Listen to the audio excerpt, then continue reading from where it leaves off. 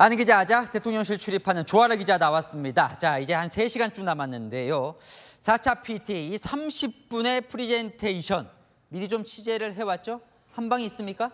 네, 그렇습니다. 4차 프레젠테이션, 이 사우디아라비아, 한국, 이태리 순서로 각각 30분 진행되는데요.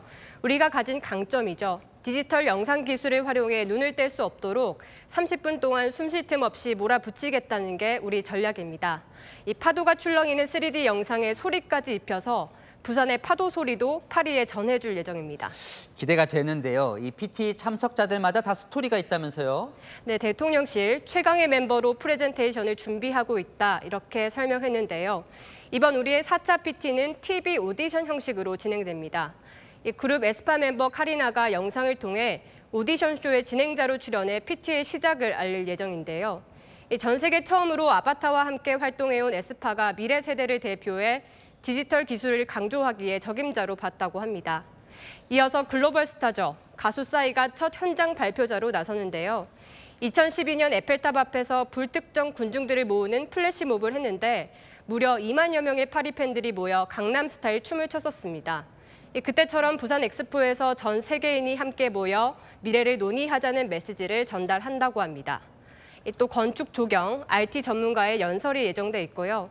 부산 엑스포 응원가를 부른 성악가 조수미 씨의 뮤직비디오가 나온 뒤 윤석열 대통령이 마지막 연사로 피날레를 장식합니다. 자, 윤 대통령은 이제 영어 연설을 하게 되는데 뭐 거의 외워서 해야 한다고 하더라고요. 현지에서도 계속 리허설을 했죠. 네, 그렇습니다. 이 윤 대통령이 국제 무대에서 영어 연설을 하는 건 지난 4월 미국 방문 당시 의회 연설 이후 이번이 두 번째인데요. 이 영어 연설을 물 흐르듯이 하기 위해서는 거의 외워서 해야 하는데 이 프랑스 출발 전 핵심 키워드를 중심으로 200 착 붙게 많이 연습했다고 합니다. 현재 도착해서도 머물고 있는 숙소 1층에 PT 장소와 유사한 환경을 만들어 놓고 두 차례 리허설을 진행할 정도로 공을 들이고 있습니다. 이 윤 대통령 연설 키워드는 크게 네 가지입니다. 미래, 약속, 보답, 그리고 연대입니다. 특히 보답은 6.25 전쟁 그리고 그 이후 우리가 국제사회로부터 받았던 도움에 보답하는 차원이라고 대통령실은 강조했습니다. 이 대통령실 핵심 관계자, 물고기가 아니라 물고기를 잡는 방법을 국제사회, 특히 저소득 국가에 알려주려고 한다 이렇게 설명했는데요. 한국의 성공 신화를 전수하는 방식으로 오일머니를 앞세우는 사우디와 차별화하겠다는 겁니다. 자, 그러다 보니까 다른 경쟁국들은 어떻게 이 프리젠테이션을 준비하고 있나도 궁금한데요. 어때요? 네, 서로의 전략을 들키지 않기 위해서 PT는 철저히 비공개로 준비가 되는데요. 다만 앞서 3차까지의 PT 내용을 통해 짐작해 볼 수 있습니다. 이 사우디는 변화의 시대를 주제로 하고 있는데요. 2차 때는 여성 인권이 열악한 나라라는 이미지를 벗기 위해 PT 연사로 여성 인사를 내세웠고요. 이 3차 PT에서는 사막 위에서 펼쳐지는 초대형 도시 건설 프로젝트인 네움시티를 내세우고 있습니다. 이탈리아는 국제 박람회 기구 실사단 방문 당시 콜로세움 위에 드론 500대를 동원하며 유구한 역사와 최첨단 기술을 강조한 바 있습니다. 네, 이들 나라도 뭐 칼을 갈고 나왔겠죠. 자, 빈살만 왕세자 이 행보가 관심인데 오늘 총회에 옵니까?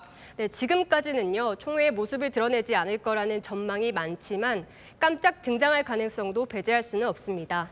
이 빈살만 왕세자는 사우디 반체제 언론인 자말 카슈크지 암살 사건의 배후로 지목되면서 유럽에서는 반인권 인사로 많은 비판을 받아왔습니다.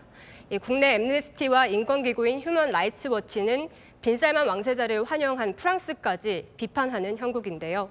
그래도 엑스포 유치에 총력전을 펴고 있죠. 특히 한국을 의식해 윤석열 대통령보다 먼저 마크롱 대통령을 만나고 공식 리셉션도 먼저 개최를 했습니다. 이탈리아 조르자 멜로니 총리도 오늘 파리에 도착했는데 총회에서 직접 PT를 할 가능성도 있다고 합니다. 자, 이 파리 현지 그야말로 총성 없는 전쟁이다 이런 이야기가 들리던데 매일 이 지지 철회가 엇갈리고 있다면서요? 네, 그렇습니다. 어제 저희가 보도를 해드렸는데요. 이 한국과 사우디가 80대 87의 스코어를 보이며 한 자릿수 표차로 우리가 사우디를 따라잡고 있다 이렇게 보도해드렸습니다. 이 파리 현지에서 치열한 물밑 유치전이 벌어지면서 이 표차가 시시각각 변하고 있는 분위기입니다. 실제로 어제 두 나라가 사우디 지지를 철회한 것으로 전해지는데요. 일찍 유치전에 뛰어든 사우디의 독주 체제가 분명했는데 한국이 뛰어들면서 회원국들도 상당히 난감해하고 있다고 합니다. 우리 정부는 사우디보다 우수한 인프라와 국제 행사 유치 경험을 강조하면서 부산 is ready, 부산은 준비를 마쳤다는 메시지를 강조하고 있습니다. 그 하이라이트가 바로 2시간 뒤 있을 4차 PT가 될 텐데요. 이 9시 40분부터 저희 채널A가 전 과정을 생중계해드릴 예정입니다. 네, 한국의 역량이 총 집결될 테니까요. 함께 보시면 좋을 것 같습니다. 아는 기자, 조아라 기자와 살펴봤습니다.